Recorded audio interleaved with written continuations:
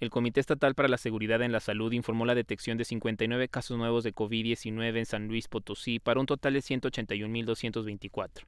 En las últimas 24 horas, no se presentó ninguna defunción por esta enfermedad. Los casos identificados se concentraron en la jurisdicción número 1 con 58 en la capital potosina y un caso más detectado en el municipio de Soledad de Graciano Sánchez. En las zonas 2, 3, 4, 5, 6 y 7 no se ubicó un solo caso del virus. Se trata de 32 mujeres y 27 hombres de entre 1 y 83 años de edad, quienes presentaron síntomas entre el 25 de marzo y el 8 de abril. De estas personas, solo tres contaban con un esquema completo de vacunación, uno con uno incompleto, y el resto no está vacunado.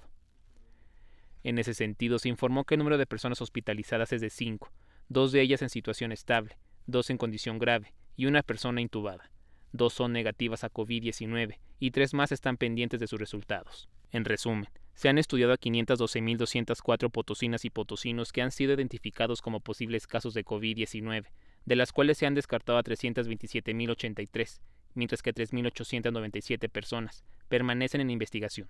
Con edición de Hernán Reyes, José Luis Vázquez, Noticieros Canal 7.